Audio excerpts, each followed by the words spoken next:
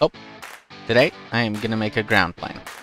So I go press here, add filled zone, and when I first click, it's to come up with this uh, screen, and I'm to click GND because I'm to want to do my ground net.